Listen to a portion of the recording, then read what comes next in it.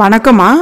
இன்னைக்கு கத்திரிக்காயை வச்சு எல்லா வகையான உணவுக்கும் சைட் டிஷ்ஷாக வச்சு சாப்பிட்ற மாதிரி ஒரு கிரேவி தான் செய்ய போகிறோம் இந்த கிரேவி பிரியாணி பிரிஞ்சுக்கு கூட சைட் டிஷ்ஷாக வச்சு சாப்பிட்லாம். ரொம்ப நல்லாயிருக்கும்.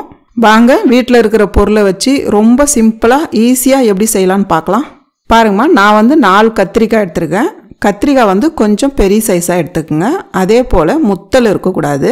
நமக்கு நல்லா அழுத்தி பார்த்தாலே தெரியும். முத்தலா இல்லை வந்து இலசானு கத்திரிக்காவை நல்லா கழுவிட்டு துணி போட்டு ஃபஸ்ட்டு தொடச்சிடுங்க. தொடச்சிட்டு இந்த அடிபாகத்தை வந்து எடுக்காதீங்க. நாலு பக்கமும் கட் பண்ணிவிட்டு உள்ளே வந்து சொத்தை இருக்கா புழு இருக்கான்னு செக் பண்ணிக்கோங்க. ஒரு ஒரு கத்திரிக்காயும் பார்த்துக்குங்க. இப்போ இதே போல் எல்லா கத்திரிக்காயும் கட் பண்ணிக்கோங்கம்மா. இப்போ பேன் வச்சுக்கலாமா? பேன் சூடானதும் நான் வந்து ஐம்பது கிராம் வேர்க்கடலை எடுத்திருக்கேன். இதை சேர்த்துக்கலாம். வேர்க்கடலை சேர்த்து ஒரு ரெண்டுலேருந்து மூணு நிமிஷம் நல்லா வறுத்து எடுத்துக்குங்க. பாருங்கள் வேர்க்கடலை வந்து இப்போ இருக்கிற கலர்லேருந்து லைட்டாக நம்ம கலர் மாறி வரும். அது ஒரு நல்லா வறுத்து எடுத்துக்குங்க. பாருங்கள் வேர்க்கடலை நல்லா வரப்பட்டதும் ஒரு ஸ்பூன் மல்லி சேர்த்துக்கலாம். மல்லி சேர்த்து கூடவே நல்லா வறுத்து எடுத்துக்குங்க. நமக்கு வேர்க்கடலை வாசனை மல்லி வாசனை நல்லா வரும். அது ஒரு வறுத்து எடுத்துக்குங்க. மல்லி சேர்த்து கொஞ்ச நேரம் வரப்பட்டு வரும்போது கூடவே நம்ம நாலு காஞ்சி மிளகாய் சேர்த்துக்கலாம். காஞ்சி மிளகாய் சேர்த்து கொஞ்ச நேரம் சூடாகட்டும். காஞ்சி மிளகாய் மல்லி வேர்க்கடலை இதெல்லாம் சேர்த்து ஓரளவுக்கு நல்லா வறுத்து எடுத்துருங்க. பாருங்கம்மா காஞ்சி மிளகாய் சேர்த்து ஓரளவுக்கு நல்லா கலர் மாறி வருது பாருங்கள் இந்த ஸ்டேஜில் நம்ம ஒன்றரை ஸ்பூன் வெள்ளையில் சேர்த்துக்கலாம். கூடவே அரை ஸ்பூன் கசகசா சேர்த்துக்கலாம். இப்போ இதெல்லாம் சேர்த்து ஓரளவுக்கு சூடானா போதும். எள்ளும் கசகசாவும் சேர்த்து ஒரு நிமிஷத்துக்கு நல்லா வறுத்து எடுத்துக்கலாம். பாருங்கம்மா இதெல்லாம் வறுத்ததுக்கு அப்புறம் தான் லாஸ்ட்டாக தேங்காய் திருகல் சேர்த்துக்கணும். நான் வந்து அரை முடி தேங்காய் திருகல் எடுத்து சேர்த்துருக்கேன். இதை கொஞ்ச நேரம் ஒரு நிமிஷம் வதக்குனாலே போதும். தேங்காவோட பச்சை வாசனை போனால் போதும். லைட்டாக தேங்காய் கலர் மாதிரி இருக்குது பாருங்கள் இப்போ இந்த டைமில் நம்ம ஸ்டவ் நிறுத்திடலாம். கொஞ்ச நேரம் நல்லா ஆற வச்சுடுங்க. பாருங்கம்மா இப்போ நல்லா ஆறிடுச்சு. மிக்ஸி ஜாரில் சேர்த்து அரை கப்பு தண்ணி சேர்த்து நல்லா சட்னி அரைக்கிற போல் நைஸாக அரைச்சி எடுத்துக்கலாம். இப்போ பேன் வச்சுக்கலாமா? பேன் சூடானதும் கத்திரிக்காய் பொறிக்கிற அளவுக்கு எண்ணெய் சேர்த்துருங்க. எண்ணெய் நல்லா சூடானதும் ஒரு ஒரு கத்திரிக்காவை எண்ணெயில் சேர்த்துருங்க. அதனால தான் வந்து கத்திரிக்காய் கழுவிட்டு நல்லா தொடச்சி வச்சிடணும்னு சொன்னேன். தண்ணி இல்லாமல் பார்த்துக்குங்க கத்திரிக்காயில் தண்ணி இருந்ததுன்னா எண்ணெயில் வந்து தெறிக்கும் நல்லா திருப்பி திருப்பி விடுங்க. ஒரு மூணுலேருந்து நாலு நிமிஷம் கத்திரிக்காய் வந்து எண்ணெயில் நல்லா வதங்கணும். அது ஒரு நல்லா திருப்பி விடுங்க. பாருங்க ஒரு பக்கம் விடாமல் நல்லா திருப்பி விடுங்க. பாருங்கம்மா இப்போ வந்து நம்ம ஒரு மூணு நிமிஷம் விட்டுருக்கோம். நல்லா வதங்கியிருக்கு. இப்போ ஒரு ஒரு கத்திரிக்காவை எண்ணெய் வடிகட்டி எடுத்துருங்க. இப்போ வந்து எண்ணெய் ஃபுல்லாக வடிகட்டி எடுத்துருங்க. அதே கடாய் வச்சுக்கோங்க. இப்போ நான் வந்து ஒரு மூணு ஸ்பூன் அளவுக்கு நல்லெண்ணெய் சேர்க்குறேம்மா.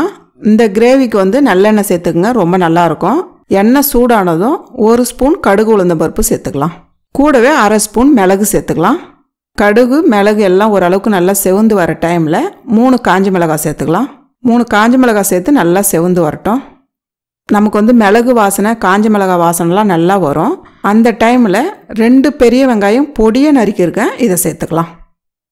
இப்போ வெங்காயம் சேர்த்து நல்லா வதக்கி விடுங்க. வெங்காயம் வந்து நல்லா வதங்கிடணும். அது வரலும் நல்லா வதக்கி விடுங்க. வெங்காயம் வதங்கி வரும்போதே தேவையான அளவு கருவேப்பிலை சேர்த்துக்கலாம்.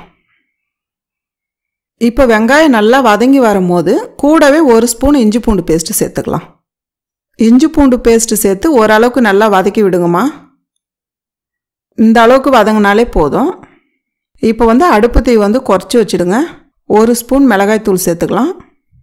அரை ஸ்பூன் மல்லித்தூள் சேர்த்துக்கலாம். கொஞ்சமாக கால் ஸ்பூன் அளவுக்கு ஜீரகத்தூள் சேர்த்துக்கலாம்.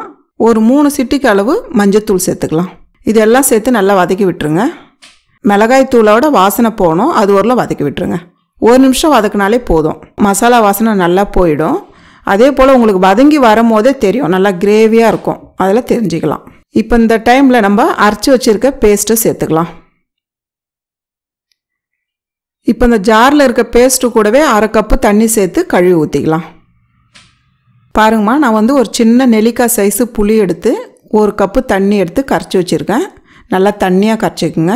இப்போ இந்த புளி கரைச்சல் சேர்த்துக்கலாம் கூடவே. புளி கரைச்சல் சேர்த்துட்டு கூடவே தேவையான அளவு உப்பு சேர்த்துடலாம். இப்போ இதெல்லாம் சேர்த்துட்டு நல்லா கிளறி விடுங்கம்மா. பாருங்கள் இந்த அளவுக்கு தான் இருக்கணும். ஓரளவுக்கு தண்ணியாக இருந்தால் தான் நமக்கு கொதிச்சு வரும்போது கரெக்டாக இருக்கும். ரொம்ப தண்ணி சேர்த்துறாதீங்க.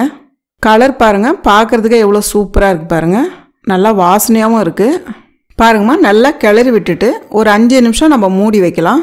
நடுவில் ஒரு டைம் எடுத்து நீங்கள் கிளறி விடுங்க. இப்போ அஞ்சு நிமிஷம் ஆயிடுச்சு பார்க்கலாமா? பாருங்கள் இந்த பதத்தில் தான் இருக்கணும். ரொம்ப தண்ணியாக இருக்கக்கூடாது ரொம்ப திக்காக வரக்கூடாது. கரெக்டான பதத்தில் இருக்கு பாருங்கள் நம்ம வந்து ஃபஸ்ட்டு வச்சதை விட இப்போ நல்லா திக்காக இருக்கு பாருங்க. இப்போ இந்த டைமில் கொஞ்சமாக வெள்ளத்துண்டு சேர்த்துக்குங்க. நம்ம வந்து வெல்லம் சேர்த்தோமா டேஸ்ட்டு காரம் புளிப்பு எல்லாமே கலந்து ரொம்ப நல்லாயிருக்கும் வெல்லம் சேர்த்து நல்லா கிளறி விட்டுருங்க. இந்த டைமில் நம்ம வதக்கி வச்ச கத்திரிக்காவை சேர்த்துக்கலாம். ஒரு ஒரு பீஸாக எடுத்து இந்த மாதிரி சேர்த்துருங்க. பாருங்கள் கத்திரிக்காய் சேர்த்துட்டு அந்த கிரேவி கூட நல்லா பெரட்டி விடுங்க.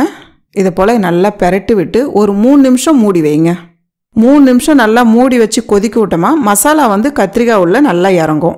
பாருங்கம்மா இப்போ மூணு நிமிஷம் ஆயிடுச்சு நம்ம பார்க்கலாம்.